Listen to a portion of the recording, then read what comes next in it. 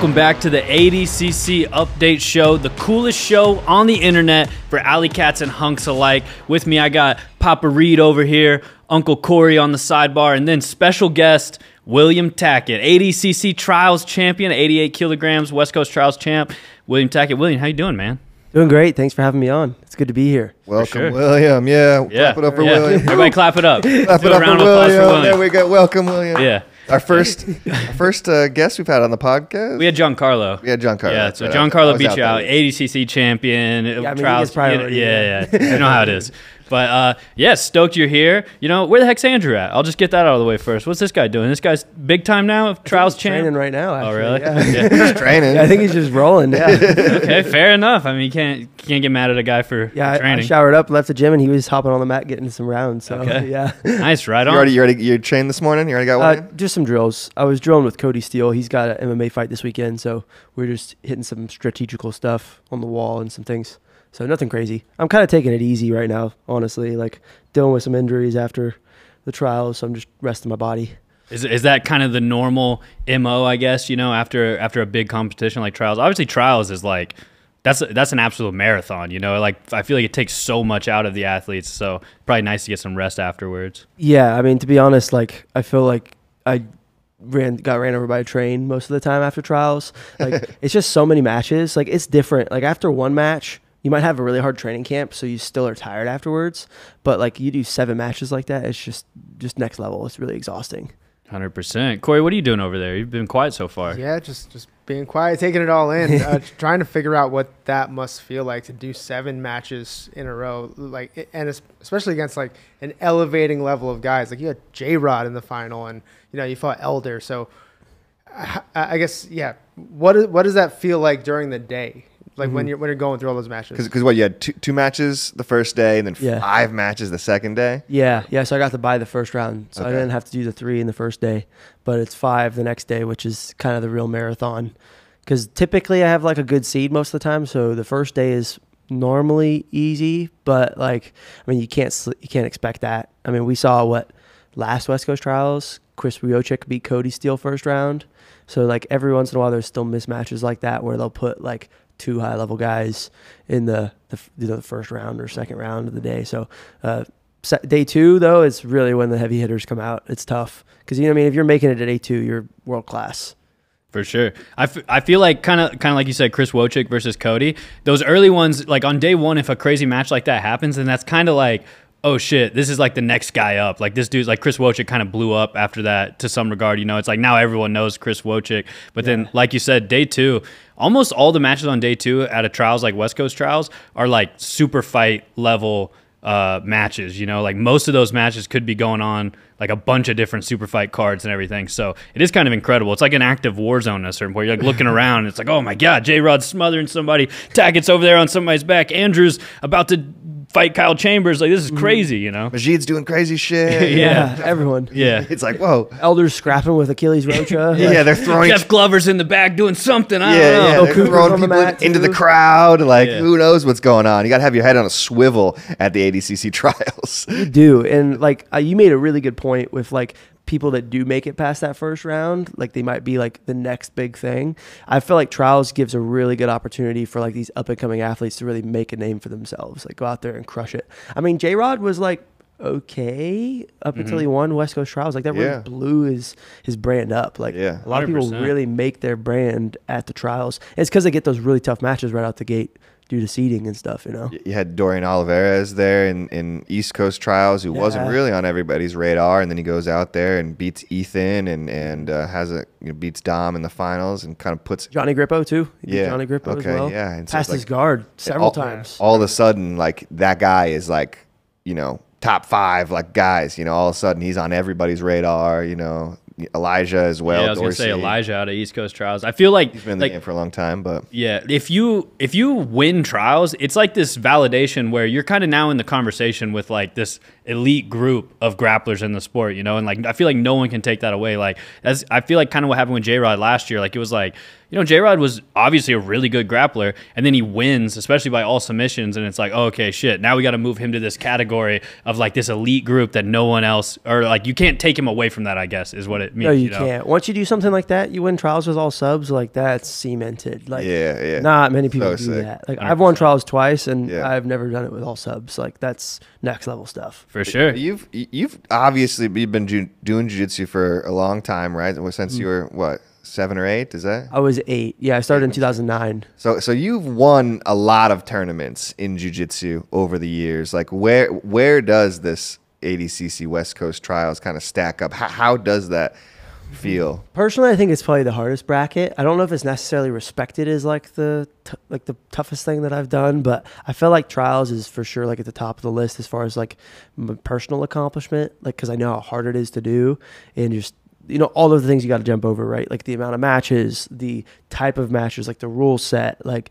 it's just really really tough. And for me, like it's definitely like kind of the top of my list for like I put trials as as like my main achievements for sure. Um, and then you know, for me, like really the only thing bigger than that, in my opinion, other than American trials, is like the ADCCs, like in, in Nogi at least. Like I feel like even Nogi Worlds, like I haven't competed in Nogi Worlds at black belt, but I mean we see the amount of competitors in each division. Like you know, you have maybe what you know 20 30 guys in a bracket at Nogi Worlds. You a- have in a good bracket. 256 people at ADCC trials, and yeah, the level is different. Like anyone can do trials, but like you see the guys that are podiuming at, at trials, they can all win the Nogi Worlds. So it's like it's it's tough, you know. I for me personally, I put it at the top of the list, and I'm not taking anything away from people that have won Nogi Worlds. Like I think it's a sick title, and I want to eventually get that title as well. But for me, trials is like my main achievement for sure. Hell yeah. Well, we kind of have a, a few different videos we'll play. We want to talk through some matches and stuff. Um, I think we, we want to look at like the Elder match, it, like as a whole, and uh, as well as the uh, the final against J Rod. But up first, if you want to, uh, if we want to play this asset, we kind of have um, just basically your run of all your matches up to the semis. We can kind of just like talk through some of this. If you want to point out any key things that you remember or uh, you know stand out to you, feel free, man. But up here, up first, uh, this is your first match of the day. Do you remember this one at all? Remember Yeah. What's, what's going through your head right here? First match of trials. You know, are you getting amped up? Are you trying to stay calm? What's going on? Just try to get it done. Like I got to my upper body Big ties bro. pretty early. Yeah. That was one of the s- sickest Yeah. takedowns of the entire event, right there. Yeah. one of the cooler ones that I've gotten, at least on video. yeah. yeah. I've I've done some s- at like competitions where there wasn't like recordings, but Yeah, you that probably one have was pretty countless sick. cool takedowns on Andrew and Caleb, but nobody gets to see those. Yeah, those don't, those don't get aired all the time. but uh, I mean, they same for me though. They get them on me as well, you know. but yeah, this match I was just trying to get in and get out. To be honest, um, I felt bad because he actually came up to me before the match, and I was like headphones in, hoodie on, like in the zone, and he came up and like shook my hand, and I thought he was like wishing me luck in like my match and I didn't know I was fighting him. And I was like oh thanks man thanks man. And then I didn't even really like hear him because my headphones were in. But then I walked out onto the mat and he was standing across from me. I was like oh I'm fighting that guy.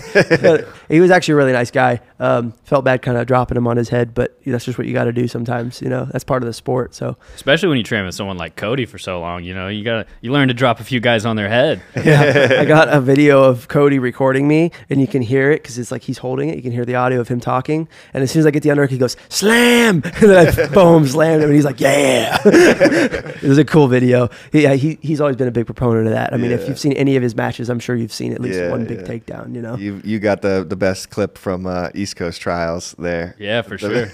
yeah, I'll, yeah. I well, he didn't do it. That's why. like if he would have been in it, then he would have gotten that big takedown. Yeah, But- yeah. yeah, it was cool to get that one. That's one I've been working a lot. Like I always work body lock stuff um, from standing position uh, or even on the ground. Like I've worked body lock passing since like blue belt. So uh, anything body lock is like one of my favorites. And uh, he didn't really fight me with his hips, so I just decided to go for the lift.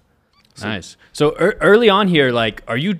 Do you want this match to go a certain amount of time, or are you trying to like energy conservation? Do you want it to be just as quick as possible, or do you want to kind of you know get warmed up? What's your What's like your thoughts on that type of stuff this early in the tournament? Yeah, I mean, first match of the day, whether it's second day or first day, like you don't necessarily want to like get in and get out as soon as fast as you can. If you get a 10 second sub, like that's sick, obviously, but you don't get like to warm up at all. You don't get to like break a sweat or any of that and get all those nerves out. So I do want to get it done, but I also, I also want to try to get a little bit of a warm up going, you know? Nice. Um, yeah, because you can gas out in your first match if, or you know first hard match of the day. For if you sure. don't have tough matches before. And I assume you haven't heard of a lot of these guys. A lot of these guys kind of aren't on your radar, maybe. Like, do, this do guy you- actually coaches my um, uh, my fiance's nephews or cousins. Okay. Cousins. Wow. They're like four years old. He coaches them at Wagner Rocha's gym. Yeah, anytime you That's guys a crazy. VRMA on, on the shorts of the rash guard, you know you're kind of in for a for a little bit of a tough match, Yeah. probably. Yeah, It'll his a very fights scrappy. type of Yes, too. match. yeah. Look at this. William the wrestler right here, huh? I've been trying to work a lot of wrestling. I wouldn't consider myself like a wrestler yet. I don't think it's the strongest part of my game, but I'm trying to make it that way. Mhm. It would be sick if I could just only wrestle the rest of my life and never have to play guard again. Saw J- It J sounds Flow awesome. was out, out at the gym a couple weeks ago or a month ago or so, right? You guys Yeah. training with him. yeah, I was thinking about maybe going out and doing his like um he has like a master seminar type thing that he's doing, a mastery Okay. a course. It, it's I think in a few weeks. Uh, it might be at Keenan's gym. I'm not sure, but uh, he's an amazing coach. If anyone ever gets the chance to train with him, I highly recommend it. I mean, he's he's. he's helped you wrestling out, or Uh, we've only trained together a little bit, so like he has had influence in my game. Like the amount that we've trained together, like he's probably had the most influence because I train with a lot of wrestlers and I pick a lot of their brains. But like I'm with them every day. J Flow, I've shared the mats with like maybe once or twice, you know. So we don't get a lot of like interaction, but the type of interaction we get, like I learned so much from it. Mhm. It's he's a great coach, and he's just I mean he's a judo Olympic level black black belt. He's a jujitsu black belt, and he's a Division One wrestler. Like the dude is just versed in all areas, you know. And he's just a great coach. On top of that, he coached the Olympic team in judo. He coaches some of the best MMA fighters. Like he coaches Paddy Pimblett, coached Ronda Rousey. Like the, the dude's a savage. you yeah, know? yeah, good communicator too. To, to be like that deep in all those martial arts, but to be also like be able to relate it to everybody and Oh, yeah. teach like an easy class so people so people can everybody can get something out of it. Yes, sir. Yeah, 100%. completely. He's he's the best. I, I, I recommend him highly to anyone that can train with him. That's for sure. Corey, you got any questions? I know you. I know you're kind of off to the side over there. What do you got for for William at this point? Do you remember any of William's matches from trials? I'm kind of just studying all this right now, and and the one thing like we were talking about the the level of wrestling that I think we're we're This seeing back here take from was pretty William. cool though. This one that's coming up.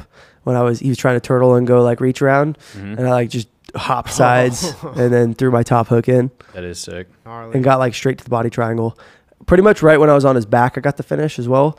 Um, some people just don't necessarily know how to hand fight, and then other people just like are so hard to choke. Mhm. Like sometimes I get on people's back and I sub them like right away like that, and then other times like I get there and I'm just like, this guy's unchokeable. Like can't even Well, find his neck. It's funny you say that. I think it's this match right here. It is, I cut out a big part of it. You were on this guy's back for The entire four- match? literally four minutes. Okay. I think it might be four plus minutes, but so I cut most of that because it was just like just constant hand fight. I was like, man, I don't know, probably something I should learn from this. I don't know, Oh, but If this is crazy. So, so again, first match of the day, right? Because this is day two. Yeah. So like I went in a match minimal warm up. Haven't really like broke a massive sweat yet. So going into the match and then like having this guy's back for however long and and Anthony's a savage by the way. Yeah. Like not many people can like survive five minutes with me having their back. You know, Yeah, even the best guys in the world. Like that's a position I've worked for years. You know, and um, he's a savage dude. Uh, but if you notice towards the end of the match, I saw this one clip from when I was rewatching it. Like the side of my leg, like was like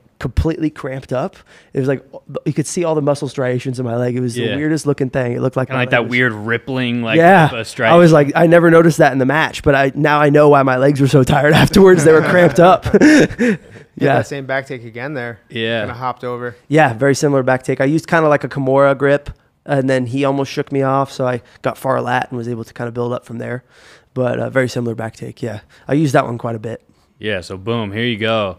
Is that the, is that the plan? Take everybody's back at ADCC trials and when, you're when you're training and everything. Is that the plan? Well, uh, I've worked on taking the back since I was young. Like it's been a main part of my game for a while. I think most of my submissions come from the back. Um, but honestly, like I've tried to create a game that's like as multi-dimensional as possible. Like attack legs, guard pass, play guard, you know, wrestle up, back take, submit from top, whatever I can get. So that way, like wherever the fight goes, like I try to control it and keep it in the areas that I'm comfortable with. But wherever it goes, like I have attacks from. So that's kind of my main goal going into trials. But I wanted to try to wrestle people down. Uh, I thought that was gonna be a, a easier way to control the 88 kilogram guys. I didn't really want them to be on top of me. Like this big dude, Yeah. Yeah. this guy beat Steven Martinez Oh, the match Wow. He was before. a beast, yeah. And uh, yeah, and he controlled Steven for Okay. like most of the match. Like had him and had his back, had top turtle, had like top position, out wrestled him. That's so what I was do. kind of stressed out going against this guy. I was like, this guy's if he controlled Steven, I've trained with Steven. Steven controls me. I was like, this guy's gonna be strong. So Steven Ar- is so strong, dude, have you trained with him? I haven't trained with him, but just like watching him, See it. dude. tell, Yeah. yeah, tell. It's yeah. it's completely different. When you train with him, it's like eye opening. It's insane. He has better guard passing than anyone I've ever trained with. That's so and I've sick. trained with some of the best in the world. And yeah. obviously, he's a little older than, than you know, kind of most of the field there. So it's like Mm-hmm. so, so sick to see a dude who's like a little bit older, but is still just wrecking people out there. Yeah. So I mean, all credit to this guy as well, right? Like beating Yeah. him. Sure. Is, mean- is there a part of you uh, whenever you're about to go out there and you look across and you see you're about to go against a shirtless opponent, you're kind of like, damn, dude, that's gonna be gross. Yeah, yeah. well, like, that's a be great honest. question. Yeah, like, because I feel is like, dude, I, if I saw a shirtless guy, I'd be like, God damn it, dude. Like, a shirtless guy. Come on, Yeah. armpit hair in my face. Yeah. So is there a little bit of that? No, I just for me it's more like, gosh dang it, it needs to be slippery now. Like, Yeah. That's my more fear because the rash guard does repu- like Definitely. cause a lot of friction. You know, Mm-hmm. uh, the the skin gets really sweaty, oily, and just it slips off. So like holding him down, like I knew it'd be tougher, and especially because he likes to wrestle, I was concerned about that. Also, it's harder to maintain underhooks, you know, upper body ties and things like that against real sweaty dudes. But on top of that, it's harder for them to hold you down. So I do if I could keep a high pace, I could eventually kind of gas him out. But I actually just ended up going to the dog bar. Oh yeah, Yeah, I was so sick, yeah. I was filming this and I was like, wait, because I was on the, on the opposite side and I was like, wait, what happened? I Yeah. didn't, I didn't see it. Boom, there So, it is. That's funny, right? Because you hit so many like unique leg locks in this tournament. You hit Mm-hmm. the dog bar there. I think you hit a knee bar in this match. See that we're watching now, Yeah, of Cameron. and then you hit the uh, the A block. Yeah. Like, yeah, just like every, yeah, I think a lot of people think of you or have thought of you in the past as a leg locker, but these are Mm-hmm. some unique leg locks you're, you're throwing out. Yeah, for sure. I mean, I was just trying to again change everything, keep things going, keep changing things up. Like I didn't know I was to be facing these opponents. Like I thought I was facing Steven. Steven lost. Cameron's in, Cameron's super legit. Yeah, He's- but he's I been thought in I was- game for a long time. I thought I was facing Hunter Colvin guy. though, and then he beat Hunter Colvin. Yeah. So like I was expecting to fight Hunter, not looking past Cameron. Obviously, Cameron's amazing. I fought him at East Coast Trials as well. He's a complete savage and Yeah. really really strong. He looks, he's Um, looking huge. Dude, he's So so, big, big. dude. He's Him and Ryan huge. Aiken are just like twice the size of everyone in the bracket. I was whoa. How, how, how does it feel at 88? Because I feel like you're very naturally 88 kilos, right? Like that's not like you're not making a big cut or anything. No, I mean naturally, I mean like you just walk around and are like Yeah, I kind of walk around that. Yeah, but I'm like forcing myself to be this weight. Like Yeah. I'm like I've made myself pre-diabetic from eating so much white Oh rice. my goodness! so I don't know if actually that was the case, but Yeah. but um, Also, a lot of donuts. But, Yeah, ho- you know. hopefully there's something nicer than white rice. Yeah. it's white rice. Yeah. If, if if you got Eight pre-diabetic from white rice, then I am story. screwed, dude. I'm like, I mean, I'm I actually I'm gonna go to the doctor after this Yeah, probably yeah. and figure I mean, it I was eating like 400 grams worth of carbs of just white rice Jesus. every day. Yeah. Gotcha. Dang. So so out there during these matches, you have I mean, just some of these massive dudes and stuff. How do, does it feel? Like, do you feel the strength difference? Does it? If I'm you if know? I'm on bottom, yeah. If I'm on bottom, if or maybe if I'm standing, the collar ties definitely feel heavier. Like when Cameron collar tied me, I literally got rocked. Like it felt like I got punched. Wow. It was, whoa! I was that could also been because I hadn't eaten that day because I was like so nauseous, nervous from the matches, you know. Yeah. But um, yeah, he he hit me pretty hard with the collar tie and it was solid. So I was definitely feeling that. But once I get on top of these guys, like I noticed that like the strength just kind of goes away on their end. Like unless they're really strong guard players, like when I fought Owen O'Flanagan on Grapple Fest, like his two on ones, yeah, they felt super strong. But like these wrestlers, guard passers, when you put them on their back, like they just don't feel as strong. So I, I feel like if I can get on top, I can kind of negate some of that strength, negate some of that size disadvantage on my end, and uh, really use kind of my my I guess smaller man's style because I you know I've competed in lower weight classes. You know, a few years ago I fought even at 165, so I have fought a lot lighter than I am now. You know, definitely. So uh, obviously, you Owen talked. A, Flanagan, sneaky, sneaky, shredded. That dude- yeah, he dude, is. he's literally a one of the build. most one of the most jacked dudes in jiu-jitsu. To be Yeah. honest. Yeah, he's a sleeper build too. Like you don't notice really him in his rash guard because sometimes he even wears long sleeves. Yeah. And then when like he took his shirt off for weigh-ins, I was like, this guy looks like Captain America. Shredded. Yeah. yeah. he, he has that he has that like viral picture before last ADCC where it was like a picture of him in bad lighting and stuff, looking a, not fat by any means, but just not as shredded. And then like the super ADCC Worlds physique. Yeah. Uh, I see it. That thing goes viral like every few months. I swear, like it always pops back up. Yeah, he's he's insane shredded. When are you gonna get like that? Uh, I don't think ever. I think like that's honestly mostly genetic. Like Yeah. Yeah. I think yeah, there's I could like starve myself and get shredded, but like uh, mostly it's genetic. Like Andrew and I, like I I think I probably or at least growing up, I definitely ate a lot cleaner than Andrew. Andrew's more serious about like his diet and things now, but uh, he would always be like just leaner than me naturally. Like I think sometimes it's just you know natural. Yeah. like Sure. your your your typical like genetics, you know. Um, but him, he just won the gene pool. That's for sure. He's so jacked. I mean, he works hard too. Yeah, No, no taking credit away from him, but he's he's definitely built like Captain America. For sure.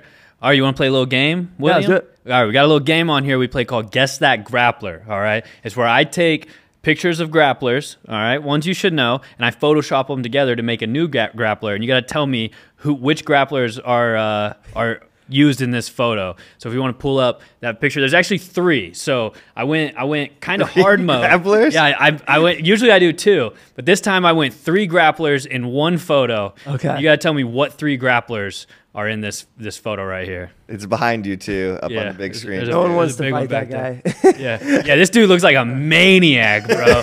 this guy honestly is awesome. Yeah, he looks like he's from Dagestan. If, if this looks like a, a creative fighter on like the UFC video game Yeah, that you just use to troll people and just like Uh, only do leg kicks. I only know Cade Ruotolo's hair. That's it. I don't know anyone else. in Cade. Ruotolo's hair. Um, you think so? You Yeah. think Cater Ruotolo's hair? I think it's Cade Ruotolo's hair. yeah, I mean, who it's else Cater is- Ruotolo's hair. like who else has that hair? the, the most identifiable hair Yeah. in jiu-jitsu. It's iconic hair. But like, who has that beard? I might have the face. The, uh, okay, uh, if you want, go. If you you want to give your guess, Wait, wait, wait. Is this one? Of, that's one of the Gracies, right? I see Benji Silva in there. Benji Silva? there's there's two. That's Kron. I feel like. That's Uh, yeah, I'm gonna give It it. is Kron. It's It Kron. is I, I Kron. was gonna say Yeah. uh, one of them. I was gonna say C.J. Murdoch from. that's uh, a good guess. that- too. that's why I was Yeah. thinking it was from Pedigo. I want to say Kron, but then I'm also like, ah, I don't know. What are they, like these? Are the ears somebody s- s- separate or? They yeah, the, like the, the ears belong to the guy's body. You see. Oh, so the body is someone else. So it's the the body and ears, the face and the hair are all different people. okay, so I the don't know. hair's Cade. Who's got that body? gnarly cauliflower? Uh, PJ ears? Barch is. Just the flattened I don't ears. Yeah, that's not- That could be PJ. How well do you know? Oh, This is a good one though, I because you guys are kind of you're in you're in the area. You is got it Cody Steele? Oh, Is that Cody so? Steele? That's, Would that be too It is easy? Cody. Yeah, It's Cody? it is Cody. It's yeah, Cody, Kron, and Cade. Yeah, I think so. Three got the Ks. Boom, dude. Three Go ahead and give the reveal.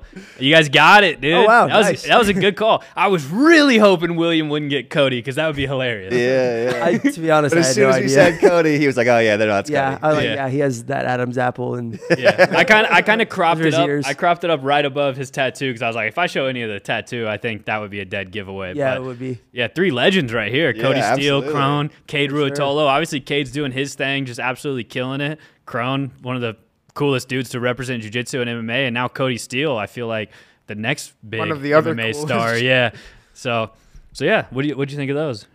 Good, That good was, little. that was tough. Stumped you? That was a tough game, Stumped yeah. you? For sure. bit. yeah. Shout out to Cody's uh, MMA fight this weekend, man. Yeah, that's gonna be I dope. I know. Are that's you gonna going be down? sick. Yeah, I'm going down. Yeah, I'm cornering. I'm his grappling corner. So That's cool. That's be cool, fun. man. yeah, it'd be a blast. He's he's got a, a new new opponent though. So his opponent pulled out.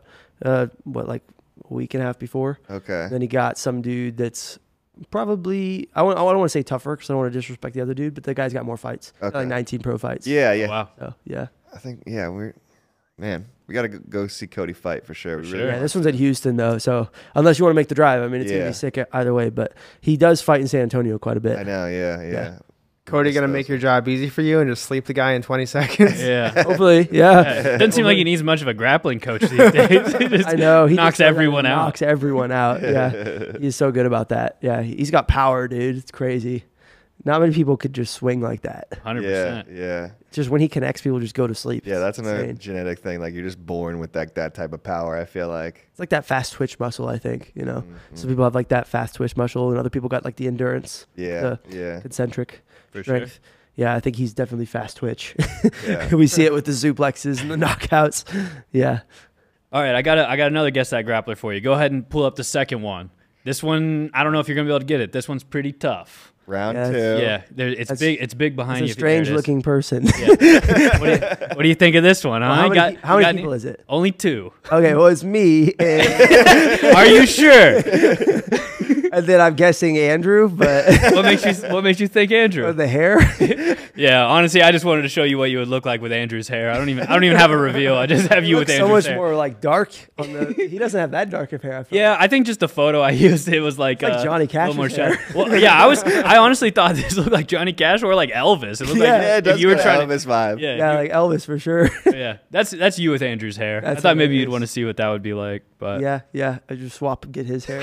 yeah, It'd be my You- thing now. yeah, How's my hair, guys? How's my hair? Yeah, Does Dude, he realize he's doing that before every match? Like, it, It's a habit thing for him. Yeah, no. Every time he's lining up for a match. Every time he's like by himself, he'll just be like saying He'll still do his hair. Like, he'll be like working on his car and just like doing his hair. at this point, it's like he realized it's like a cool branding thing for him. He's definitely Like- picked up on it. It's been it's been smart by him. Yeah, Yeah, because think he'll like since, look in the Purple Belt, he's camera and just start doing the hair thing. You know, he'll ask like, "How's it look?" right before he goes out. I'm like, "All right, this guy, he's yeah, he's the hair dude, huh?" Yeah, and everyone always says it in, during his matches. They're like, "Your hair looks great, Andrew," or "Your hair's messed up." And then he'll like fix it. I think in his match with PJ Barch, they said it, and then Yeah. finals at ADCC trials, someone in the crowd yelled it out. So it's kind of become his brand at this point. So It, it is kind of incredible how it always looks the exact same. yeah, I, I don't know how it works. I don't know. It always either. looks It's- good. It always looks pretty good. Yeah. Like, Yeah, So- credit to my mom. My mom cuts our hair, so heck yeah. Heck yeah. yeah. I'm just, I just, Mama I don't really care about my hair. I like, I buzz it off every once in a while, let it grow back out. I'll buzz it. Yeah. Yeah. Now, now that you've seen what you could look like with Andrew's hair, do you think that'll change? You think you'll grow it out or anything? Uh, maybe I, maybe I grow it out like yours. yeah. yeah, you Jason should. Reed's, yeah. That'd be That'd be sick.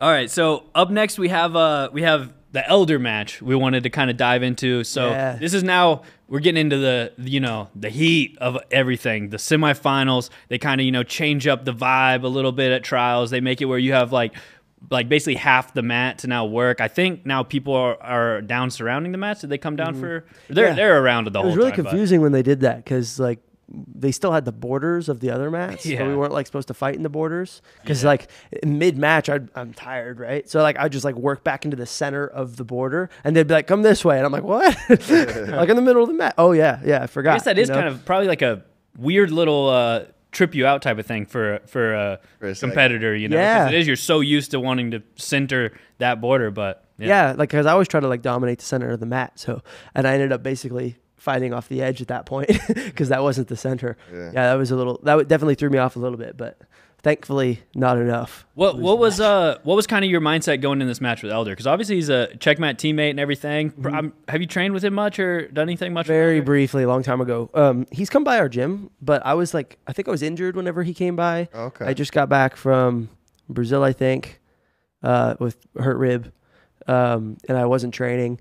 It- but he had trained with Andrew quite a bit. yeah, because I remember he, yeah, he stayed for a week or so. Yeah, and, and we had hung out. With, I drove him to the gym every day. Like Okay. we're, we're, we're you friends. guys just didn't train a whole lot. yeah, we just didn't train together. Gotcha. Um, I couldn't even move around because I think I it was when we had Jason Nolf in town as well, and we had Oh, I that's where tried your to wrestling came from, huh? uh, try yeah I try to pick his brain as much as I can. He's so good. Nice. But um, I was going with Gino Morelli, who's also another great Yeah. wrestler from Penn State, and uh, I was trying to get back into training. And it was like the first time back, and I was like, "Oh, I'm feeling good. My rib don't hurt too bad." And then uh, he took me down and like landed on my shoulders, and my feet like hit the mat, and it just like cracked my rib again. And I was like, "Ah!" And I had to sit out the rest of the time, so I actually didn't get to train with Elder, Brutal. not at all. okay. Um, so I have trained with him like back, I think when he was maybe blue or purple. He came by when before we had this location, so it was definitely a few years back, and um, that was we were both completely different grapplers then. So I don't think that really changed the outcome of the match or like Yeah. even mattered in any way. So. I, I yeah, it's weird that ADCC puts you on the same side of the bracket because like your teammates when you never really train together. Mm. But I get it, you know, I get that you can't have teammates closing out and stuff. we you could, yeah, we could, we could probably just p- play the Yeah. match here. Go ahead and roll through that match. going. and, uh, But um, It was a good so- match. so I mean, you guys, he beat me at East Coast Trials. Yeah, so you guys fought at East Coast Trials. Very, Mm-hmm. very close, tight match there at East Coast Trials. But Yeah. you want to It's talk kind about of a completely different match. As and we far can as, like, cut what the audio on this on this match. Yeah, he um he we wrestled a little bit in the first match, and I was actually really confident in my wrestling then. Even um, I don't feel like my wrestling's improved like dramatically since the last trial, so I don't think that was a huge factor. I think I just had like confidence issues with my wrestling Mm. against like a really good wrestler. Like uh, maybe I don't wrestle with him, even though like my wrestling was Can. just as good. You know. Um, Especially because you hear, hear Elder and you're like, oh, wrestler. You know, what I mean? Yeah, Like, I feel yeah. like it's like you automatically associate Elder with like elite, top tier jujitsu wrestler. You know, Oh, Totally, yeah. And, but notice in this match, I keep pummeling for underhooks. Oh yeah, I- dude. I, I was watching. I feel like that was something I really noticed. You just shoot those underhooks. And Yeah. You're so good at getting those underhooks. yeah, Jason Nolf and uh, some of my other wrestling buddies, they're all kind of underhook dominant Gotcha. uh, grapplers. So that's something that I've just picked up on. Um, and it's hard to shoot on guys with no shoes, like low yeah, singles and definitely. stuff, you know? Yeah, Hard to finish those takedowns, right? Yeah, and upper body stuff. Like I said, I do body lock stuff uh, since blue belt on the ground. So There you just go. using that on my feet. Ooh. Yeah, I almost got him down there. dude, it's tough to put somebody down. ADCC rules get like a clean takedown. Well, I mean, that's a great representation of trying to shoot with them not having shoes on. Like I had his foot and just slips out, you know? Did that shot But- register for you? Like, okay, I can get a, sh- I can get a clean shot off. I can start the chase. Like, I can wrestle with this guy. Like, Yeah, well, that was my strategy. So I, my strategy in the match was to get to his leg early on and like prove to him that I can take him down, and then just like continue to out wrestle, out wrestle or at least, you know, hand fight with him. And um, eventually, the way he, he had my respect early on, then he wouldn't be as, uh, like I said, aggressive. He'd be a little bit, maybe a little bit more timid and respect my shots a little bit more. So that would be, help me set up other things. But I kept shooting these underhooks, and he kept just kind of pushing me away, pushing me away, because his coach Lucas, who I'm great friends with, Lucas is a great guy and a great coach. Yeah. And this is good coaching on his end. He kept being like, disengage from the underhook, disengage from the underhook. Which in our first match, I like shot underhooks on him and was able to like get really good attacks going off the underhooks early on. And he just like uh, reversed me, and then I just stayed on bottom and um, didn't continue wrestling in the match. But then he picked up on that from the first match to this match. So I assumed, okay, I'm gonna try to underhook him again more. And I went out here and I couldn't do anything with the underhooks. So like he had uh, prepped a lot uh, against me as well. Like you can tell he did his homework. Um, we were both, I think, in really good, at least technical condition for this match. He had a lot of tough matches though, so he's Yeah. probably tired going into this. I'm sure. That Achilles match was crazy that he had. Uh, all of his matches, he had so many. He had a tough one with Abe also, the A block guy. You know, Okay, gotcha. yeah, Abraham. He had a tough one with him. It went to overtime, the end of overtime. He had like three or four fights that went all the way in overtime. And you're talking about um, you know developing a strategy for, for Elder and stuff. Is that something that like you do on your own? Or is that something you're doing with Rodrigo and Andrew or something? Or how do you kind of usually develop a strategy going into a match, especially a big match? Yeah, I mean, mostly I develop it like, uh, well, I'll, I'll talk with my wrestling friends because like against Elder, like it's gonna be more of a wrestling match, right? So, but a lot of it's done on my own, to be honest. Like, I I've found what works for me, and I just kind of like just replicate that from match to match. And for me, it's a lot of film study. yeah, because I think we even we saw you backstage, kind of just watching on your phone. I don't know if it was Elder matches or J Rod matches or something. Like you were just watching matches on your phone, even. Yeah, I forget what I was watching. I was definitely watching something. It might have been um, just watching the live matches. Trying, I was backstage just trying to chill and watch how the results were going. Gotcha. But I'm huge proponent on film study. I think film study is super important, and I can do that on my own time. Like I don't need to have Andrew there or Rodrigo there. Like I can watch the rolls, and then when I'm drilling, obviously, like I'll get drills with Andrew, and and uh, I'll be at the gym. So like a lot of the time, like the strategy strategical part is kind of put together on my own, but then definitely Andrew's always let in on on uh, kind of what's going on in my head. But with this match, like I was just planning to wrestle him the whole time, regardless of the result. And I knew if he took me down, like it would he would have a really hard time holding me down on ADCC rules. And I knew if I took him down, like that's all I needed. I knew I had one shot. Like I try to think of myself as against people like this that are like wrestlers that maybe don't have as much jujitsu experience. They're they're really good at like that wrestle jitsu, but not like just pure jujitsu. Mm-hmm. I feel like if I get a shot off, I'm like a sniper. Like if I can get the shot and I can take the shot, then I'm gonna get it. So I know if I could just get on top of him, I knew the match could be over. Mm-hmm. But it would take like a while to set up that shot, like really get like the perfect opportunity. So I knew if he took me down, it was just getting back up, and then if I was able to get him down, it was gonna be done. So during the match, like I think around this time actually, he um, got me in front head off one of my shots. I think it might have been this one. I came up with an underhook out of the front head and then started to run him down with a knee tap. And then he goes for that lat drop, right? Oh, I run him down with this underhook and then he goes lat drop and I like hooked his lat with my foot, kind of almost cow cashed him and put him down with the underhook and then forced front headlock, beat behind his elbow with my knee and then worked behind his back. And at this point, he was pretty tired. Um, I mean, we both were pretty tired, but I mean, when, say, are you feeling pretty fresh, or Um, uh, to be honest, like these matches are so short that I don't feel like I gas in the matches. Like, yeah, my heart rate's high. Yeah, like maybe like my forearms are fatiguing a little bit or something, but nothing crazy. Like I train pretty hard and I try to, Yeah. like maybe not in the training room all the time, but I definitely try to push myself conditioning outside of the gym at least. So I do try to train hard for matches like this to make sure that I have that throttle and I can really keep my foot to the floor when it counts, you know. And um, I think that really made a difference in this match. Like you noticed, I was in front headlock and I got out and then attacked, right? Put him in front headlock, he was done, you know, like because I just had that little extra throttle that I could give in those bad spots. And that's what counts, man. Like if he would able to, you know, get out and get back to his feet out from that front headlock, he probably could have won the match. You mm-hmm. know, like there's a chance he could have taken me down and scored, or would have went to overtime. You know, but just be getting on top and then securing from those positions. Like I spend so much time in the training room in front headlock, so much time in the training room rear body locks like that on the knees. Like I train these positions thousands of hours. So if I get there, I know that I have a really good chance at getting the sub or getting the score like in this match. Very nice, dude. You're obviously watching the watching your matches and everything, very committed to wrestling. Like you said, you know, you knew you were gonna wrestle the whole time. Was there any part of you that throughout the match you were kind of like, all right, uh, uh, maybe let's pull guard. I don't know. This is I'm getting tired. This is getting hard. Or were you all in? Like this is In the I'm past, going to yeah. wrestle. Uh, but I've been trying to train that out of me. Okay. try trying to train the butt scooter out of my brain. you know, Nice. uh, yeah. I've just been trying to stop doing it. Like people don't like watching it. Yeah. It's not as exciting. But you know? just cut it out, man. Yeah. I mean, bad wrestling's not exciting either. So that's why I'm trying to work on having good wrestling, you know, make my wrestling exciting, get big takedowns, you know, continue to push the pace on guys.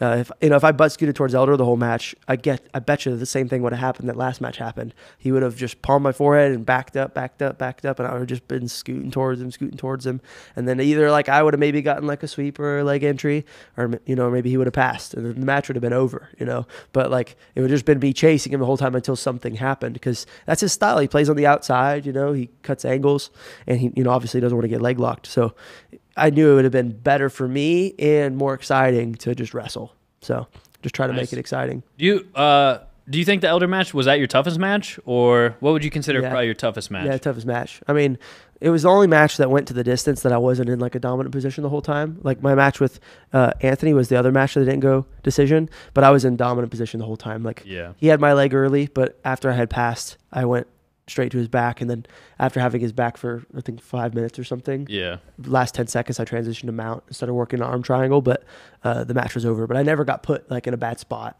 And even once i got dominant position i was there the whole time. Like with elder it was what six minutes or five minutes of hand fighting and wrestling and then like less than one minute of me having his back. So it was definitely a tougher tougher match than all my other matches i think So basically, going into the uh, the moment of the tournament, you just you beat Elder Cruz. You know, now you know you're on to the finals, and you find out you got J Rod. Yeah. Uh, on the other side, what what's kind of going through your mind now?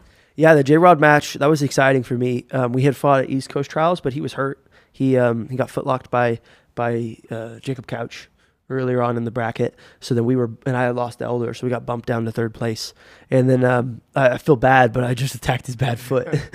I mean, I wasn't gonna like single out like okay, I'm going for his bad foot like Cobra Kai style, but like I was like, you know, if it's there, I'm gonna take it. You know, it's a way to win. You know, and uh, he, after I had got on top of him, he just had his foot in my armpit, and I was like, okay, I'm just gonna fall back on this footlock then, and I got like an easy finish, but it wasn't like I was fighting a prime J Rod either, you know, like I could I can feel the difference going against the J Rod that was healthy versus that J Rod, so um, I was definitely a little bit nervous going into it because he's one of those guys that you know we've seen him have wars with Giancarlo, Yeah. ADCC champ. Giancarlo takes his back early, holds him there. All of a sudden, J Rod gets out and then just starts getting on him, Yeah, takes his back. You know, like that can easily happen, and especially in like an ADCC final where it could be a potential 12 minute match with overtime.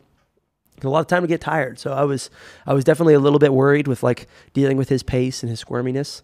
Um, but I knew that I had better submissions than he did, and I knew that like his submissions, as long as I stayed away from like a buggy choke or something like that, I didn't think he was going to catch me. So I just had to keep a good solid pace and just hunt that sub the whole time. And thankfully, it paid off. All right, let's go ahead and let's roll this. We got your match here uh, with J Rod. Kind of go through it. We'll hear your thoughts on everything. I think it kicks off with uh, with you doing this walkout. Now, this is something I wanted to ask you about. A lot of people don't probably don't know this. This part right here, where you have to walk down the steps, much harder to do in reality than I think a lot of people realize. Those steep they- steps. dude, they are. Yeah. Like sometimes I follow people out, and I'm like, oh shit, oh, okay, uh, you know. So that's the first battle you got to win right there is overcoming those very steep That's for sure. And you're trying to like get in the zone with the music, so you're Yeah. trying to like go down the stairs like with some You rhythm. look cool. All eyes are on you. Yeah. Someone didn't someone in East Coast just skip the stairs and jump? Oh off? yeah, they did. Somebody Uh, jumped off, and I was like, Who was that? I, I was Sick. I was really scared for them. I was like, oh my god. yeah, because they just jumped onto concrete pretty much, like just like Carpet, yeah. carpeted uh, floors. But yeah, so yeah, I don't know. I wanted to ask you about those stairs. They are like oddly tricky. challenging. They are, and they're Yeah. like I think like aluminum style stairs. So if you fall and like stub your shin down one of those, that's gonna suck right Yeah. before a match. Hundred percent. So so here you are. You know you're uh, out on the mat now. Does it feel good having the lights on you, the people crowding the mats? Do you do you like everyone around the mat like that? What's that like? Oh, it's cool. Yeah. So like I grew up competing in like the jujitsu kumites back in the day. Uh-huh. Um, I don't know if anyone remembers those, but the OG Texas guys remember that. That was a guy named Bruce Seck. It was Cora Seck's dad. Uh, she was like an I early that, yeah. jujitsu girl that was like really big in the 10th planet system, um, kind of same era as Grace Gundrum. And she was crushing it. And her dad ran What, what were they called?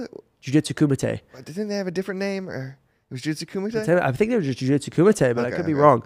Um, but Bruce ran them. Yeah. And Bruce just ran these tournaments in ground dwellers typically, but he would do other locations as well. And he would just bring like the best kids. Yeah. And he would just do like the whole money in a pot and winner takes it all. So I had like been in those environments a lot growing up where I would be competing in tournaments like that where there's people crowded around the mat and like the lights are dimmer. So for me it felt kind of like I was at home. And then obviously like being in the trials finals like I felt reminiscent of being at the West Coast trials last time when I was at 77 kilogram finals. So it kind of felt the same and uh, I was happy to be there. It was it was a good time. I believe it, dude. Is there? I, I'm sure you're very locked in right now. But is there a small part of you that's like thinking about Andrew also Yeah. coming up No, in the finals? Because that's zero, no, zero, Yeah, really. Zero. No, I'm la- just totally focused on myself. That's awesome. But after the match is definitely when I had a little bit of a mindset switch, but I'll talk Yeah. about when we get there. But For sure. yeah, it was I was locked in. I mean, you can't lose any focus at this level. If yeah, you, so two, two elite guys. I think a lot of people would have maybe called this be in the final just because it seemed like you guys two are you know two of the best guys in the bracket. So I think a lot of people saw this match coming. Especially once it got going too, and it was like, okay, these dudes are having a day. Like Williams Yeah. having a day. Jay's kicked it off with two smothers. You know, it's like, all right, yeah, this this might be what uh, you know is in the cards for us to see. yeah, he looked great the whole tournament. He really did. sure. He had some great matches. Um, Trials just seems like his thing. yeah, he just really comes alive at trials. So we had some good wrestling exchanges standing, both clear and ties, and I was punching some underhooks. Uh, I was able to hit this shot off of a feint, and I got to his waist. This was kind of the goal was to get behind him. Um, not maybe necessarily to take his back.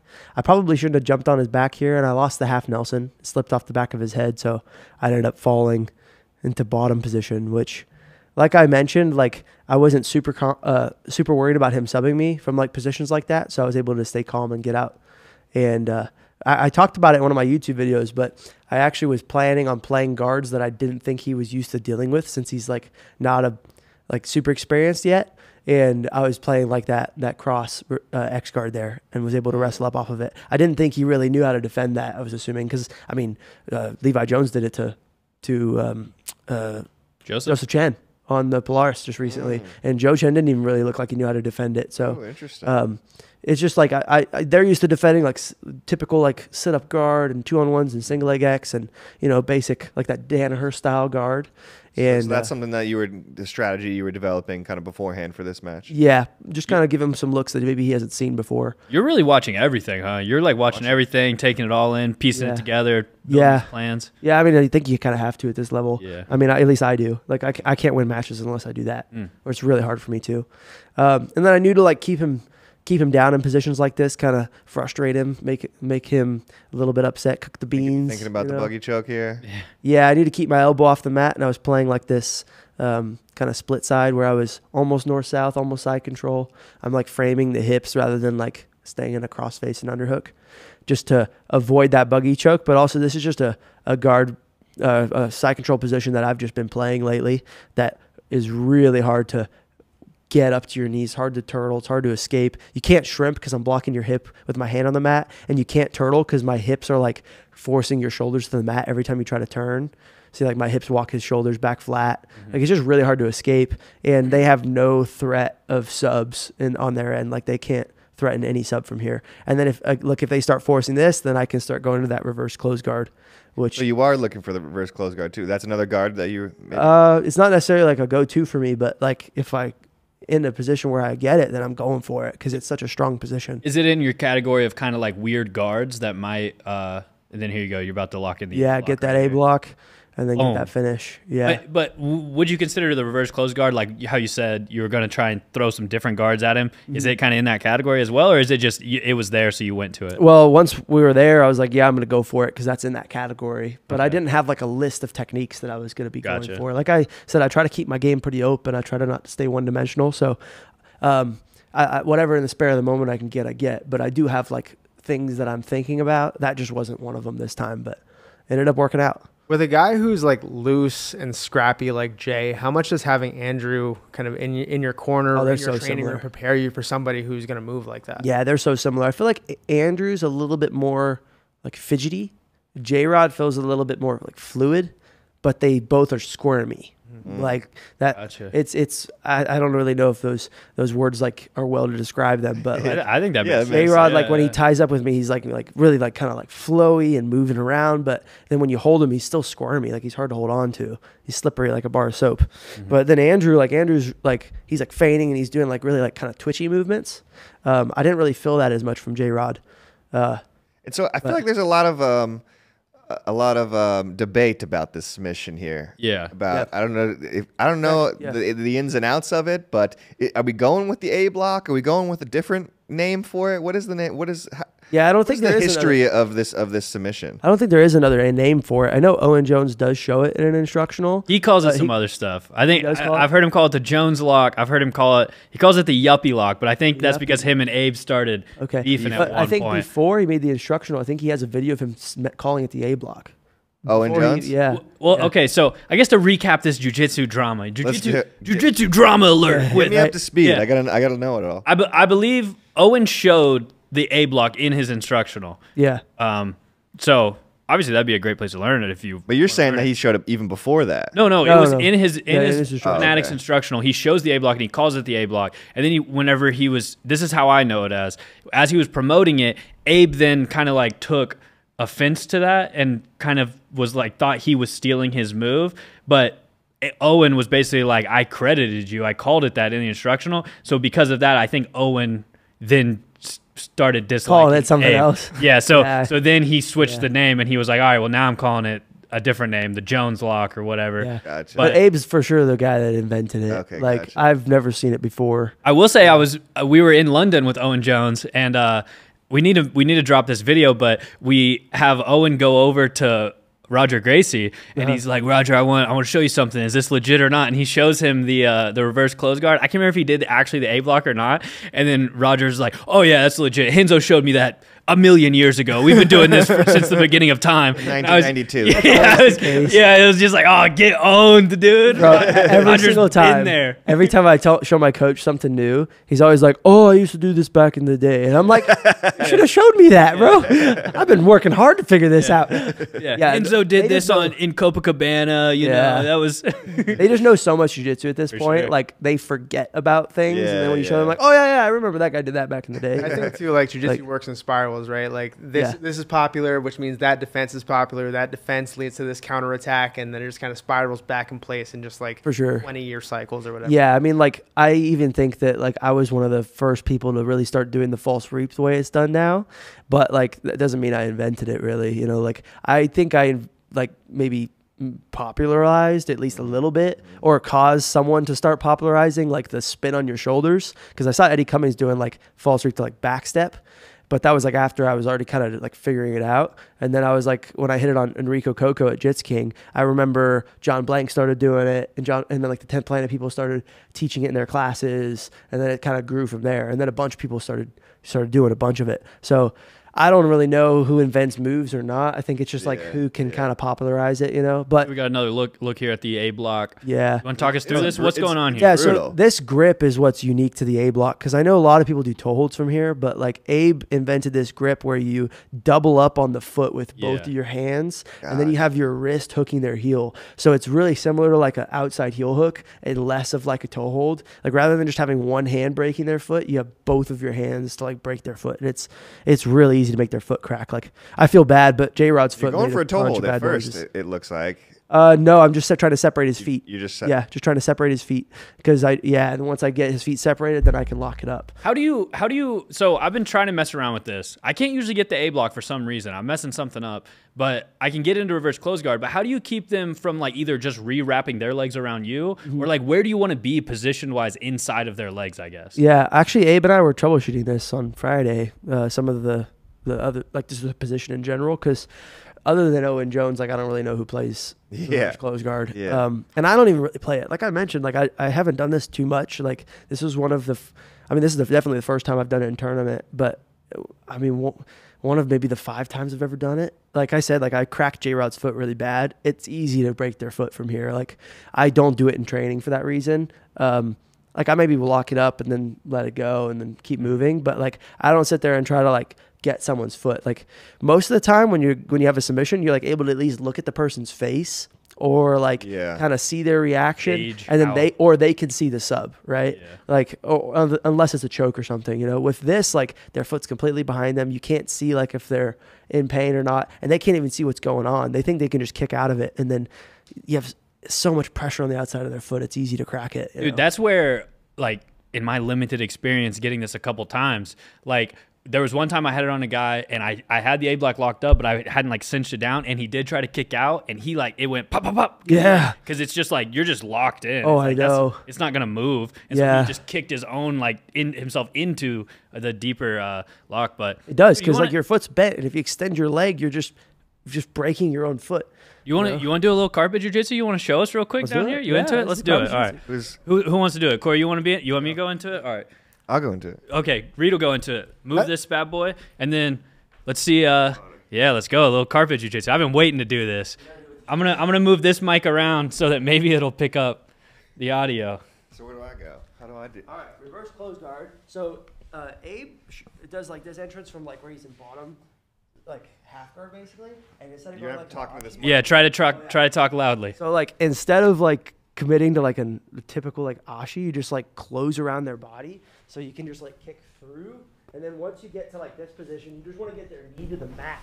Sorry, force his knee to the floor, and then now having his knee on the floor, knees bent now at this point. So toes, and then this Sorry. hand goes around their heel, and you connect here. So instead of like a toe hold, where it's just my hand here that's breaking his foot, now I have both my hands breaking his foot, and I'm pulling his heel in one direction and pushing his foot in one direction to get a lot of pressure on the outside of his ankle. And it, this is that grip that he revolutionized, right? Like, not anyone I've seen ever do this other than this, right? Yeah. Like, Roger Gracie probably did this For sure. told the people, but like this grip I've never seen before. You know, this is brutal. Does it does it matter which one? Uh, does it matter which which hand you grab first for the A block? I feel, like, So I feel like you typically- can feel my, my ankle like cracking. Yeah, you Reed, okay? Reed, Reed has glass no, I don't. My ankles are fine. No, he has Okay, okay. glass No, no, ankles, dude. Yes, 100%. His ankles are an absolute liability. we should I- have not done it on him, then. I'm like, this move is him. super dangerous. It's easy did- to crack their foot. Yeah. Do it on him. Yeah. How did it, how did it feel, Reed? Uh, one time Connor DeAngelis uh, footlocked me. Oh, really? Yeah. That guy's. Where's that guy been, man? I don't know. I know. He's He's so good. He he's was so good. One at. He was like, Connor D'Angelo's footlocked me. Yeah. That's where it all stems from. That's where it no all other stems reason. from. um, no, yeah, no. I mean, like you just can't do anything either because like it, it Oh. feels like if you extend your leg, you're just going into it, and so yeah. it was like so like to your point of like, what do you do from there? Like, especially if someone tries to close up the legs like that.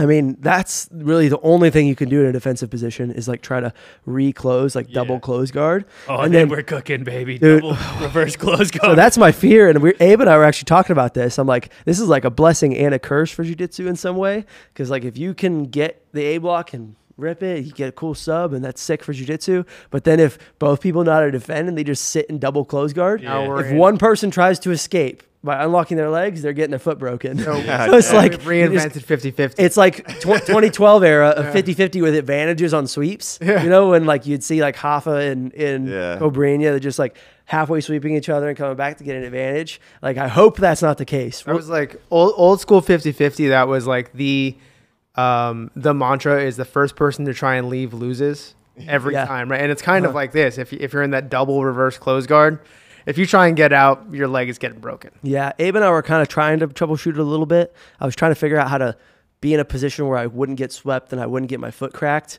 without going to double close guard. And I was kind of figuring some things out, but it needs some work. Maybe I'll have to pick Owen's brain too. Maybe Nah. we can all get in the same room, Abe, Owen, and I. That'd be Yeah, great. you yeah, want to yeah. mod- you want to moderate a debate for? We'll bring you all in. You guys can have the studio. That'd be And We'll do the ultimate A block breakdown. Yeah, yeah. it's and, uh, probably just a misunderstanding over social media, right? And then, and then, yeah. and then, and then, you know, everyone can come together and do A blocks together. The way the world, you Yeah. know, and the Just world all will can heal. A block in harmony, you know? Yeah, nature will heal. I've been giving these guys shit all week, um, saying that the uh, reverse close guard is kind of a bullshit position. So no, it works. Okay, okay. yeah, it works. Uh-oh. It is kind Yeah. of taken over. Like you know, at, at at our gym, a lot of people have been playing it. Like I've been It's impossible to escape. ending up Like, there. It's it's yeah. thi- Against especially like someone like Abe. Like Abe is huge. He's jacked, and his Yeah, legs are yeah. like really thick. Like we were we were working from the position the other night, and I, we just starting there and seeing what we could do. And I was like, okay, maybe I can like get my hands. Nope, nope.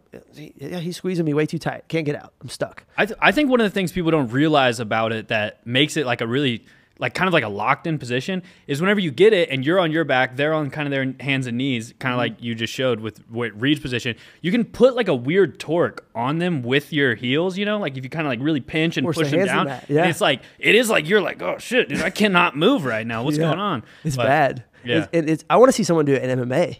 I think if someone sick. does it in MMA, it's like great for MMA because Wow. you can't get punched. Yeah. Like the guy's facing away from you, and like you said, you got that torque to like push their hands back to Mm-hmm. the mat, so they can't even like try to turn around if they want to. And then you, MMA guys suck at leg locks. So you, I just, think you know, we found the best position for self defense. Yeah, it's reverse- reverse close guard. Yeah, this is a, this is actually a self defense technique. So, And then think about it, like circle. MMA elbows to like the back of their glute, just yeah. that would suck. Always a sick move. All right, so uh, we I just have like one last video uh, asset I want to kind of play for you. It's basically just Andrew's run. Just Yeah. wanted to, just wanted to play this. It's like a highlight. I think it's like a six minute highlight of Andrew fixing his hair um, for five minutes. No, I'm kidding. But uh, yeah, just want to talk a little bit about his run because you guys are. I mean, as far as I know, I haven't seen anything else uh, to say otherwise. The first brothers to ever win the same trials, you know. So I think first set of brothers to win trials. I, Yeah. I was looking back and I, I mean, Gordon's never won the trials, even though Yeah. Nicky has, because Gordon lost to Mike Perez and then got the invite, right? Yeah.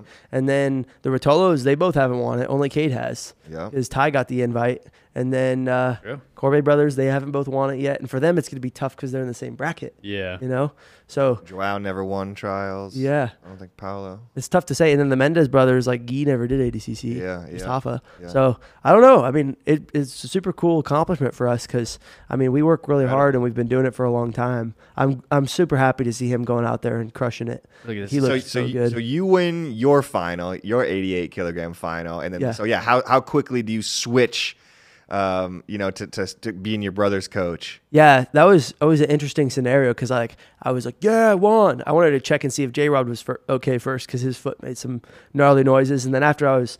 Okay, he's good. Sweet, I won. Yeah, and then get my hand raised, run over to my coach and my team, and we're jumping up and down. That was sick. And then I was like, wait, wait, wait, Andrew's fighting. Get focused. And then we like huddled around the coaching circle again and got right back in the zone. This For might me- have been, this might have been one of the best matches of the tournament, right? Dude. I, Oh, I dude, love this this, match match. was- This match was incredible. you remember their Nogi Worlds match Yeah. at Purple Belt? Yeah. In the absolute finals or semifinals? Uh, it was the absolute Finals. finals. Yeah, it was the finals. It was a sick match at Purple Belt Nogi Worlds, and I knew it was going to be tough again this time. They just match well stylistically, Yeah. you know. And Dory's normally really big. I was surprised he made Dude, 77. We saw him. We saw him the night before, like walking to go weigh in. Brutal looking. Like I was like, oh god, that was obviously a gnarly Wear- cut. wearing but- three trash bags. Yeah. Yeah. Yeah, I, I don't know if 77's for him. If you think about it, you, it, the trials is not the goal, right? Like ADCC is, and if you got to do that three days in a row, Brutal. you got to go night before, day of, and then you make it a day two, day two. Like could he do that? You know, Yeah. that's a question you got to ask yourself. You know, if you want to if you want to cut that much weight. Okay. But this was Very epic good. exchanges. Yeah. Like, you know, he got to Andrew's back. Andrew got out and got the takedown, got the score, and then got the back take. Andrew really Andrew kept talking about uh, early on how he was like, I don't want to let the dog off the leash. You know, I, I That gotta keep interview the was dog the on most the leash. awkward interview. did it. We did an interview where Andrew pulled in. I wish you guys could play it and Yeah. pull it up. Oh, it's so And funny. They basically Andrew starts telling him how he like let the dog off the leash, all this stuff, and then he was like, Williams, like he's a you know he doesn't really he's he's like a dog that has one of those retractable leashes, and he gets to run a little bit, but then he pulls himself in, and he's like, it's all right, he's not really a dog, but I let the dog off the leash. You know? He's like, I'm like grabbing the leash and I rip it out I with my bite- mouth I and bite ah. the leash. And Williams just like, yeah, I guess that's a fair that's a fair uh, analogy. It was hilarious. It was like right after he got off mat too, so I was just Yeah. like so confused. It was so funny. yeah, he was Yeah. just. it- he is that way though. Like he's he's full on like one of those crazy dogs that like if you let them near another dog, they just like attack mode, just mean, break off the leash right and here, right? run across the street to get them. You know. Him and Yeah. Kyle was just too, Yeah. too kind of unhinged. And this was great because Andrew lost to Kyle on the W and, and X, the, the who's, who's next show, and um, it was it was a rematch for him. He lost to Kyle, and he came out here and he dominated. He looked so good. For a moment, I thought he was going to get heel hooked because he fell into 50-50 and he turned the wrong way for a brief second. But he's so quick, he was able to turn the wrong way and then turn the right way and still not get caught. Another guy who looked huge for that 77 weight. Yeah. I couldn't believe Kyle made it either. Me neither. I mean, I fought Kyle when I was 16, and we fought in a 185 pound bracket, and I was like maybe 160 or something. It was a Onnit invitational, if you guys remember that, and he had cut a lot of weight to make 185. This was 170 or 169. You know, that's a big difference. And then this match, this was the match of the tournament for us because we were really prepping hard against Andy. We knew Andy was going to be probably his toughest matchup, and I think either this the style that we the approach we took either s- like stumbled Andy or Andy was really nervous but Andy definitely Andrew was able to get the like the first step and then just kind of keep that lead the whole match and keep Andy kind of on his back back heels a little bit you know I, I think Andrew was there. He is fixing his hair. uh, I, Andrew was telling me that I think he said something about the game plan being like you and him broke, or I think a lot of your help of him like watching An- Andy's matches and everything broke down how the the specific way Andy defends shots like with the guillotine and stuff where he doesn't fully sprawl out but he just kind of puts his hip in. Yeah, And Andrew falls was like, as soon as I like touch him, I'm just gonna never stop driving. He's was like, that was the game plan. Him and I are pretty hard to guillotine now. Um, I lost to John Combs in the finals of the trials in 2019. Um, was that three West Coast trials ago, I think? And uh, that was when I had got my purple belt like a few weeks before the trials and was able to make a good run. Then got guillotined because I just had no guillotine defense. So ever since then, Andrew and I have really put a lot of emphasis in trying to get good at defending guillotines and. Um, uh, even my match with Andy, I kind of gave him my neck and used it to get on top. So he kind of did a similar approach. Um, yeah, it worked well. He looked amazing. And then this match was epic, dude. This was such a good match. Taza really brought it. Taz is a, such a game competitor and good guy. It was good to have Andrew share the mats with him. Yeah, there was a moment where like Andrew like even pulled guard, maybe kind of like I was mis- so confused. my I was like. Andrew, what are you doing? You're gonna get a negative. and then he kind of kind of even was flashing his back a little bit. Yeah. like, it was like Andrew's oh. wild. He's so unpredictable. Yeah. You know. What a final four though to have like Dory and then Kyle and then Varela and then Taza Yeah. all as your last Brutal. four Oh, I matches. know. Like, And he fought that uh, wrestling guy. I forget the dude's name. Um, before or after he fought Dory. So he fought Dory, Dory first round of day one, and then he Oh, fought yeah. that uh, that wrestling guy. It- like really, really good wrestler, Division Yeah. One wrestler, and um, he went for a lat drop, and Andrew stuck him. Same, same kind of how way I stuck Elder. So it was cool to see him do that also. Caleb having a good time there too. Yeah, Caleb was Caleb's loving it. crazy. Yeah, he he wasn't able to compete this time. He hurt his Okay. back. Um, he pulled his back out actually, like couldn't even walk like a week before the event. So he had to drop out. He was even going to do the open and the trials, and he had to pull from both of them. So uh, he was really happy to see us both succeed. He's a good kid, Yeah. and um, his time will be coming. I mean, if he wants to compete at this level, he's so young and he's got all the resources. Like he'll be there too. You know, The Tackett family is a legendary he's sick to have three man. brothers win the trials. Yeah, That would be yeah. crazy. Yeah. I don't think anybody's touching that if you guys All Three three. brothers. Hopefully, Andrew and I don't have to do the trials again. Yeah, yeah. Yeah. Hopefully, we do well at ADCC and we just get in. Well, and then Caleb's gonna have to do 66 too. So uh. yeah, I think he'd do 77. yeah, yeah, Yeah. but he would have to cut to 66 to, in order to not fight Andrew. yeah, yeah. But hopefully, I hopefully Andrew and I just do well at ADCC. We win, you know, ideally win, right? Yeah. and get the invite. But uh, I Yeah, think that we can make some waves. You know, Yeah, maybe that's a good good thing to, to ask you. That you know, obviously you won trials. The la- um, trials in 2021 was that. Mm-hmm. Uh, went to ADCC Worlds. Obviously out there in Vegas, Thomas and Mack Center, huge show. Probably probably pretty crazy memories. I'm sure that you have from that one. But obviously didn't go the way. PTSD is what it is. P- Okay, PTSD PTSD. for that one. So obviously didn't go the way you wanted it to go. But what, what do you think is like the biggest kind of change or the, or the biggest lesson that, that you've learned from from that ADCC going into this one? Yeah, I mean, I joke saying I have PTSD from it. Actually, a lot of really valuable memories at that event. Like first ADCC, been dreaming to be on those mats since I was a kid. Yeah. You know, staying up till three o'clock in the morning watching the the Finland ADCCs back there, the ones in Japan or Brazil. Like, I was a huge fan of ADCC, and I still am. Like, I, I'm competing in it now, so it's epic, you know. But eh, a lot of really good memories and and lessons particularly going from that event. Like I went out there and I fought someone that was a late replacement, so I didn't have like as much time to really like study. And to be fair, like I think I maybe slacked on that too. I probably could have put a little bit more time into studying on like someone that's such a specialist specialist like that. And you know what, two or three minutes into the match, got caught with you know his move, his move that I knew, he was going to do, and I just wasn't necessarily prepared to defend and. Uh, uh, ended up walking away with a pretty bad injury too. So a lot of really valuable lessons coming out of that bracket. Um, yeah, I'm really excited to get back out there and take everything that I've learned and really be more effective this go around, especially in a new weight class. I think that uh, I think I can make think I can make some good waves in this bracket. What do you think about uh, T-Mobile being in T-Mobile? Is that gonna be sick or what? Yeah, I've never been to T-Mobile. I'm, I'm assuming it's going to be as cool, if not cooler, than Thomas and Mack. And Thomas and Mack was pretty sick. So We, we went to um, a T-Mobile walkthrough um, just right after ADCC trials with Mo and Gordon and stuff, and they were, you know, we were just kind of mapping everything out, and like, you know, it's a similar size to Thomas and Mack, but it just feels so luxurious. Yeah. Everything is just like luxury, you know, and like everything is just so nice and pristine, and it's just like, holy moly, I can't believe fifteen thousand jiu-jitsu vagabonds are about to just descend on this arena, you know. and- Yeah. This would be sick. I mean, if you're gonna sit and watch matches for two days in a row, having a nice venue is gonna be pretty nice. you know? Yeah, yeah. No, they Yeah. have this like really gorgeous like bar area that's like up up in the uh, uh, kind of top of the arena, but it's like this gorgeous bar where you can order drinks and stuff like that, and just have this like really unique view, like Wow. a top down view of the mats and everything I like bet that. expensive to get in there. Yeah, exactly. I'm Yeah. sure. I'm sure. But That's sick. Yeah, I mean, competing in an event like that is just beyond you know wildest dreams, right? Like so many people, like you just hear the crowd roar. Like it's Yeah. it's a different experience. yeah, That's why I think like going into it now the second time, like having felt that energy, I think it's not going to be as startling. You know, like it was it was much different than I'm used to. You know, like e- trials is big.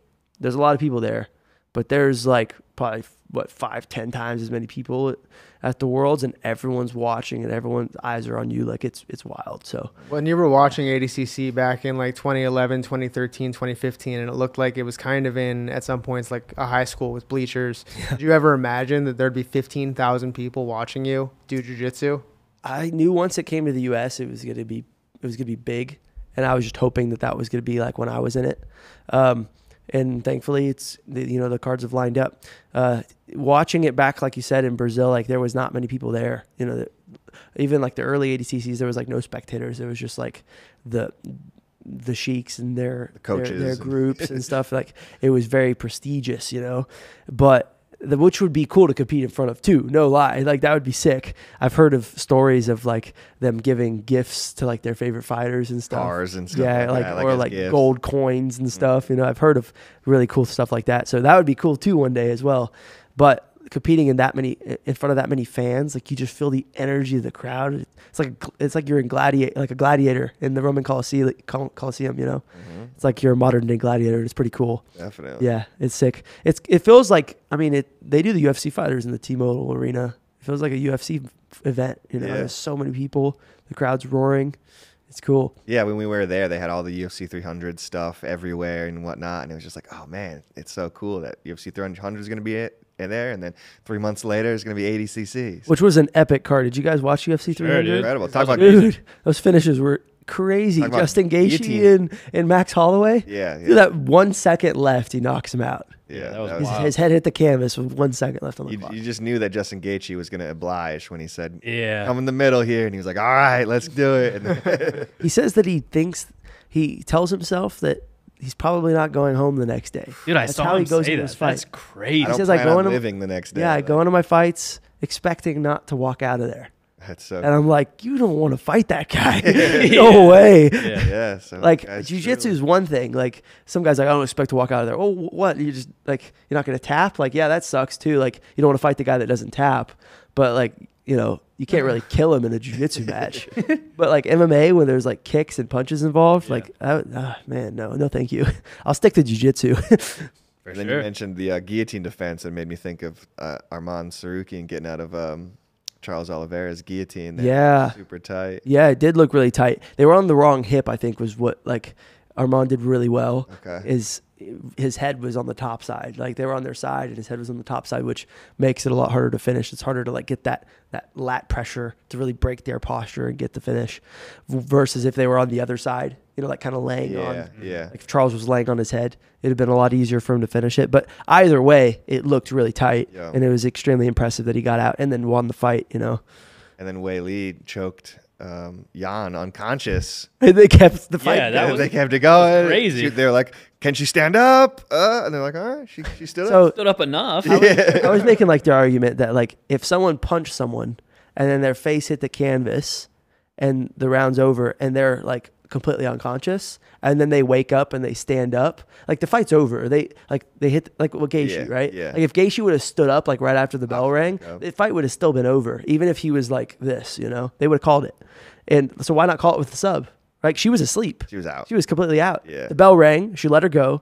And then she woke up a few seconds later. Yeah. Like she was asleep, you know? Yeah. She let her go and she was laying on her like asleep. I don't know. What felt like that was jujitsu match did that happen call. with? That was like Hulk versus. That was Hulk uh, and We uh, were talking about this before. Hulk and uh, Leandro. Leandro, yeah. yeah. was it Leandro? Okay, Oh no no no! I'm sorry. No, that was wasn't Leandro. Hulk and uh, Denise. Denise. That's Ah, right. Yeah, yeah, Hulk and yeah, Denise. Denise. Yep. So That was wild. You know, Janine's also had a weird match with on Kasai back in the day of Josh Hinger, where Josh Hinger like went for a flying armbar and like knocked himself out and then got choked. Jeez. Yeah. Yeah. Not remember that? Yeah. I watched it live. I fought Nick Ronan on that event. Yeah. um, I had beat him on points, and then I was just like chilling, watching the the main card because I was early on. Obviously, I was only a purple belt, and uh, Isaac Michelle was on that card too. He fought, I think, um, uh, one of the Unity guys. Uh, trying to remember. Um, Not remember. Sebastian. Oh, like Yeah. not Sebastian. something. No, it wasn't Sebastian. I- Maybe w- one of the Berimbolo guys. one of the guys who plays Berimbolo from there, you know? Yeah, yeah. they all do. But um, yeah, Oh, so yeah. there was a bunch of really cool fights on that card. But Josh Hinger went for a flying armbar. I think he was winning the match. And there was like a minute left. And he went for like a flying armbar. And he just slipped off completely, like no Oh, contact. jeez. and then just fell like right on his head, like knees over his Yeah. head and everything. That was like a month before ADCC too. oh wow. Really? Yeah. Was it the Florida card? Is that the what you was it your own? No, this was uh, Atlantic City. Atlantic City. Okay. yeah, Atlantic City. It was the event that Meow won. I think it was like the Okay, yeah, 135 yeah. pound bracket. And um, he like hit the ground and was kind of like clearly like dazed at the very least, you know. And then Deneen's just like jumped on his back and choked him, Yep. and then he just like tapped and was just like, oh, Yeah. I remember that. Brutal, dude. yeah. That's a sucky way to go out. Yeah. Especially because I think Josh has beat Deneen's every time they fought. Other than that, Okay. Yeah. Like mauled him most of the time. Yeah. Well, all right, boys. That was a that was a good show, a good long one. You got anything else you want to say, William, before we head out? No, thank you guys for having me on. Um, Subscribe to your YouTube channel. Yeah, yeah, of my course. YouTube channel, and um, I'm putting out like articles and going to be putting out some construction, uh, instructional content on tacketjujitsu.com. So if you guys want to check out tacketjujitsu.com or keep an eye out on some things coming out, check it out. There you go. We'll check out William Tackett uh, August 17th and 18th on the ADCC World Championships. Yes, sir. That's yes, sir. right. And Andrew. And, And Andy. Andrew. Yep. Yeah, the we'll Tackett Bros taking over. Go to tacketjujitsu.com. Check that out. Follow William on Instagram. Follow him on uh, follow Andrew as well. Follow Thank their you. their YouTube channel, all of that. So appreciate you coming in and uh, thank you all for watching. We'll see you guys in the next episode.